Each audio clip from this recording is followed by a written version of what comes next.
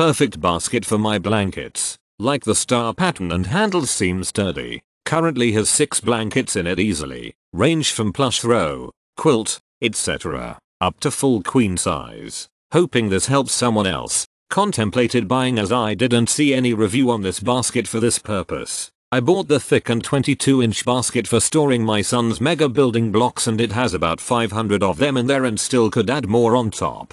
I just purchased but seems to be amazing quality. I recommend 100% on buying this basket. I wanted to organize my linen cupboard. These baskets are fantastic. They are big enough and long enough to fit lots of bedding in each including quilts and folded blankets. The lovely addition is that each basket comes in a plastic zipper bag which I have used to put full sets of bedding in. These bags, filled with a complete set of bedding mean you can easily pull out a complete set rather than pulling everything out to find a new set of bedding. I am ordering two more for quilts. I didn't order enough. They are well made and look great. Once filled they look better and the creases go in time. I am very happy with these and would highly recommend. If DOKEHOM sold the plastic bags they came in separately that would be even better as they are the perfect fit for placing inside them. Love this cute laundry basket even the built-in cinch type lid inside. But the sides have already broken down. I've only had for one month. Also the leather handles are not very sturdy either.